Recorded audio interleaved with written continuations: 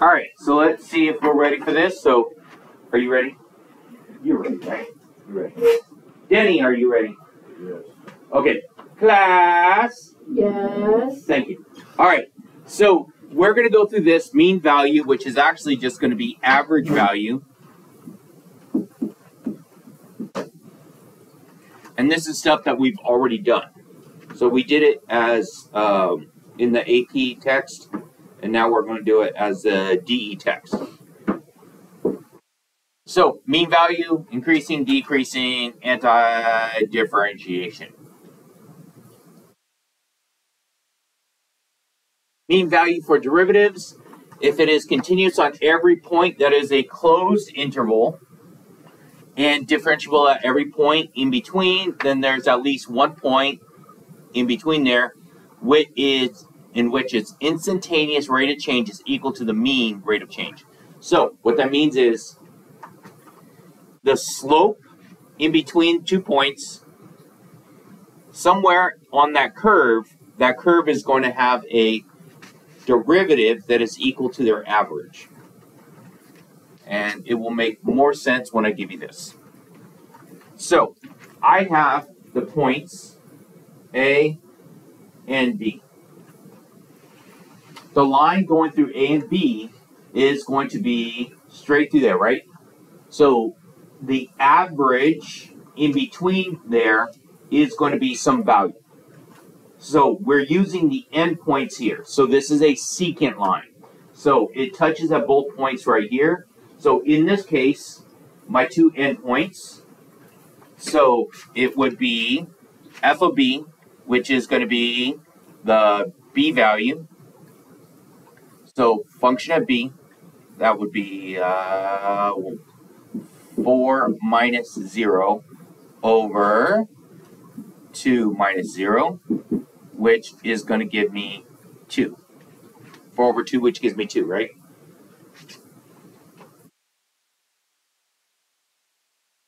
Yeah. Okay?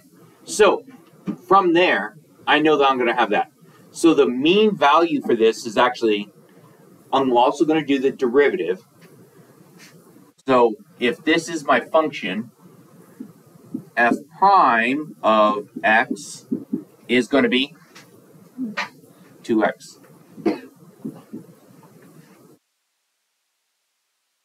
Okay? So what I want to do is I want to try and find the point where the derivative is equal to the average value. So what that means is I'm going to take this and now I'm going to say that 2x is equal to 2. Because this one right here is for my secant line, and this is my derivative. Derivative. So I take my secant, which is my slope of my secant line, and I set it equal to the derivative, which I get here, and divide both sides by 2.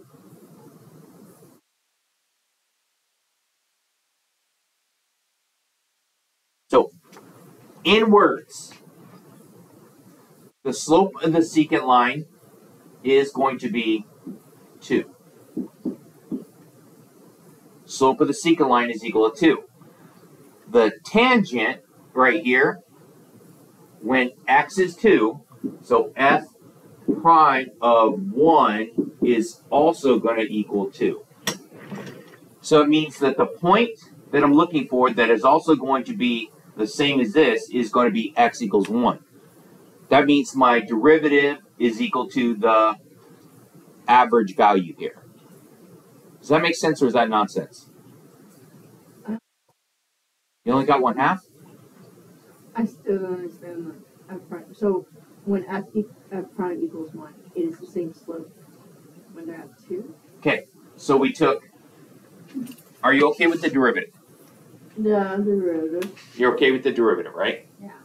Okay, so given my formula, the derivative at some point is equal to the average slope. Okay? Uh, some point right here. So the derivative somewhere, right? We want to find some point. In this problem, we found out that it was c. My c is equal to 1, right? Yeah. Okay, it must be equal to my average, and we find the average by using a slope formula. So basically y2 minus y1 over x2 minus x1. This is all slope between two points.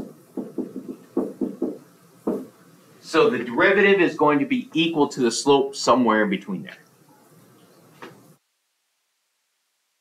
Does that make sense a little bit or no? Yeah, yeah. Kinda? Somewhat? Denny?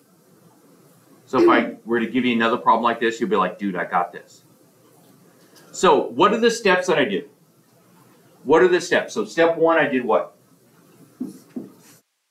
Find slope between points. I found the slope, right? Yeah. Okay. Next one, step two, what did I do? Do derivative. Find derivative.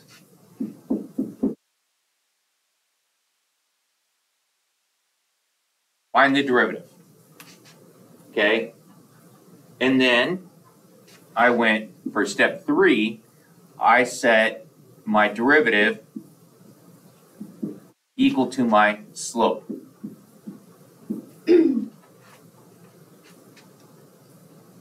Yeah. Okay? And that gives me the point where they are equal. X- Yeah, the x value.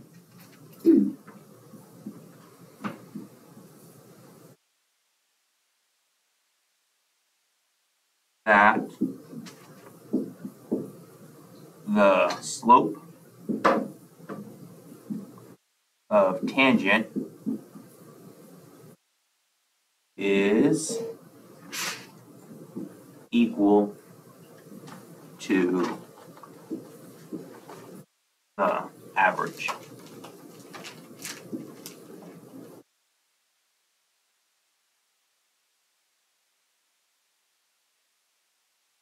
Maybe, kinda. Item by item, gives me the x value of, at the slope of the tangent that is equal to the average. We will find this a little bit more. Yeah, kinda. There's a reason for doing all these things. So it's all stuff that we've already done, but now we're going to be for a reason. And we'll get to that reason when we actually have application next unit. Increasing function, decreasing function. So if a function is increasing, what do I know about the derivatives?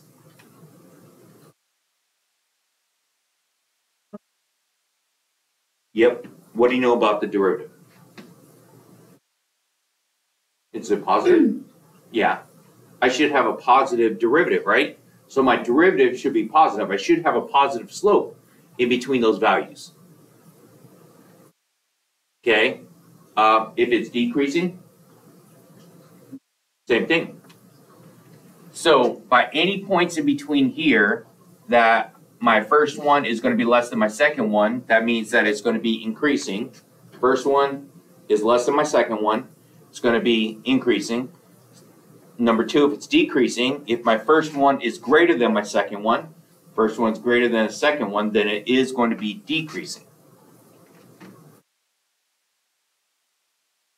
Okay, now right here, if they are differentiable, so for it to be increasing, my derivative's got to be greater than zero, and for decreasing, my derivative is less than zero. Positive slope, it's going up, right? Negative slope, it's going Yeah.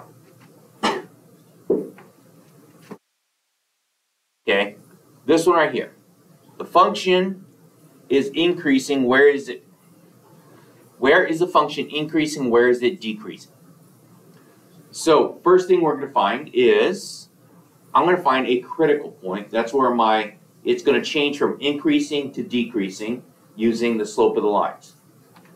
So I'm going to take the derivative of this. So f prime of x is going to give me 6x squared minus 12. Yeah. Why are you saying like question mark? Why not? All right, and then from here, I'm going to set it equals 0. So my derivative equals 0, so 0 equals 6x squared minus 12.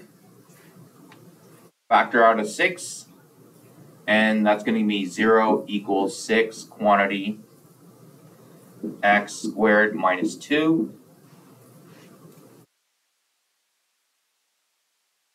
Okay, if there's a 6 out front of my factor, what can I do with it? If I divide both sides by 6, what happens? Zero. It's 0, so that 6 can go away, right? Yeah. Because there is no variable there.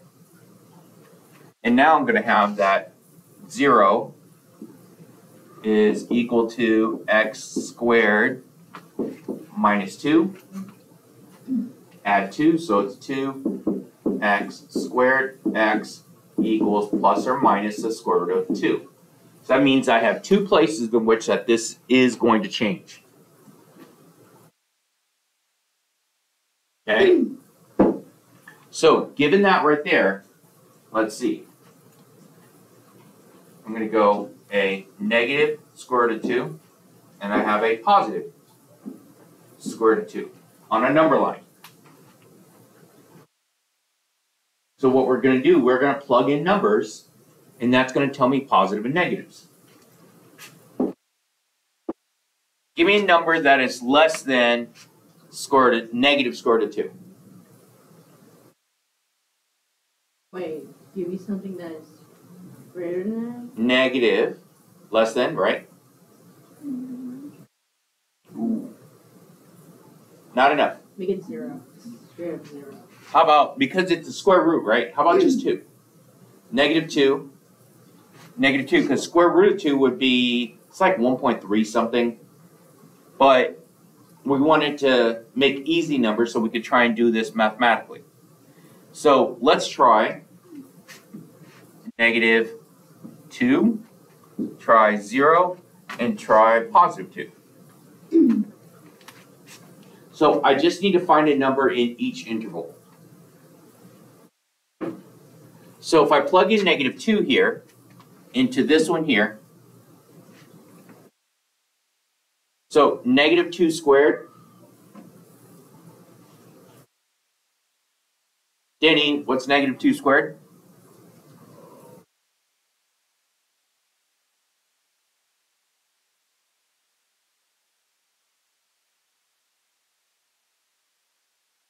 You can, you're squaring it, not square rooting it.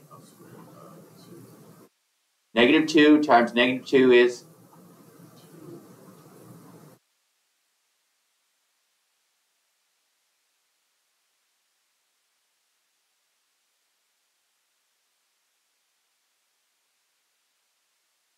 Oh, I know. Yeah, so I'm plugging in right here. Oh. So that's going to give me 4. 4 times 6 24, minus 12. 12, So that is that a positive or a negative? So all this over here is going to be positive. So that is a positive slope. So that means that it is going up at that point, right? It's going up at that point. Now let's plug in 0. Plug in zero. 0 squared Zero. times 6 Zero. minus 12. Negative twelve. So everything in between here is going to be negative.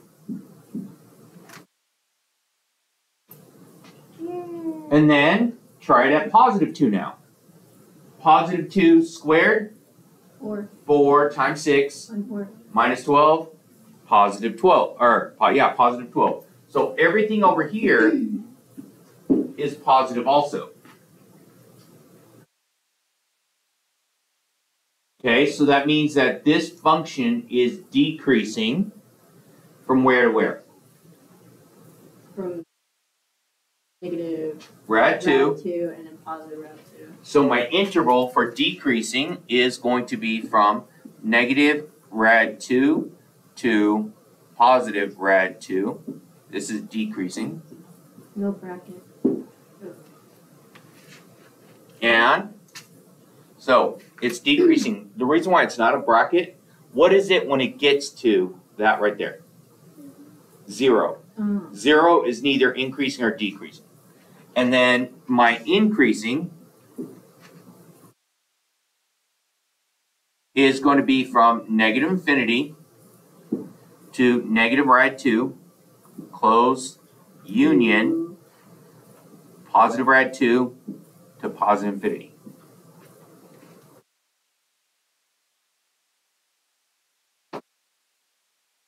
So this is a lot of what we've already done.